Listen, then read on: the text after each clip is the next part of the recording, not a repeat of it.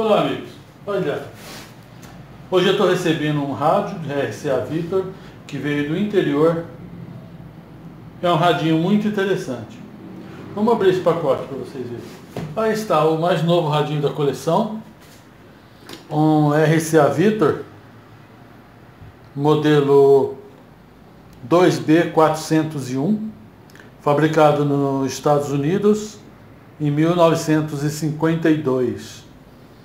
A RCA Victor fabricava esses modelos em série, a 2B400, e cada cor recebia uma variação. Esse é o 401. Esse rádio é portátil, então ele tem dentro, vai dentro dele duas baterias.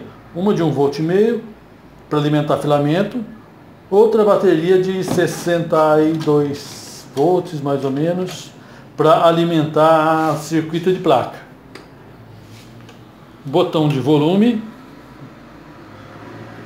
botão de sintonia.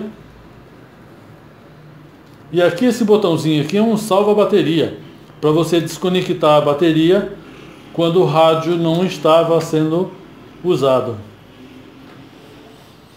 Sinais de, de, de uso, um trincado, mas ele está muito bem, vai dar para dar uma polida na caixa e deixar tudo a contento. Agora, fazer ele funcionar, eu vou precisar de uma artimanha aí para alimentar ele com 62 volts da rede elétrica, corrente alternada. Perdão, corrente contínua. Até lá!